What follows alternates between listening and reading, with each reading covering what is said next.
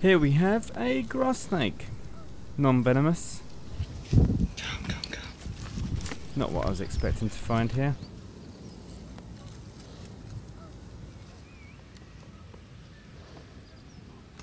Oh, that stinks.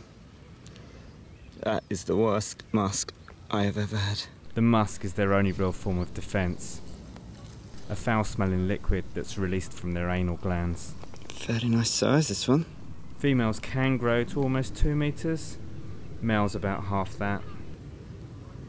I'm not saying where this is, sometimes it's better to keep locations secret. And of course, this snake was released exactly where I found it.